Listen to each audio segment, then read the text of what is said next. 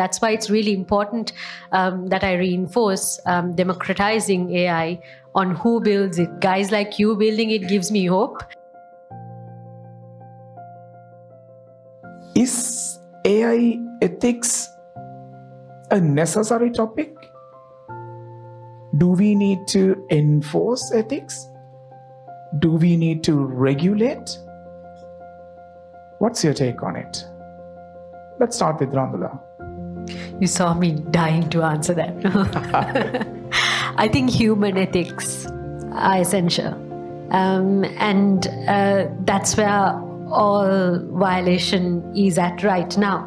And we are designing AI. Um, we are controlling AI we are giving it goals, we are teaching it languages, we are giving it our own biases. Um, so, yes, ethics applies, but ethics applies to AI as it does to humans.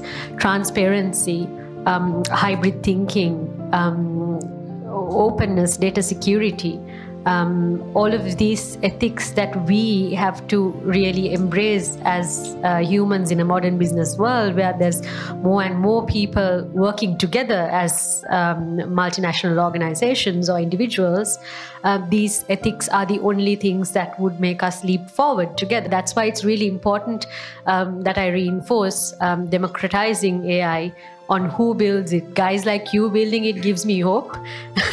and I, I would try to turn this question back to you. What are you building? And which side of the table are you going to be on when you become a big ass entrepreneur, you know, next year when you launch something new?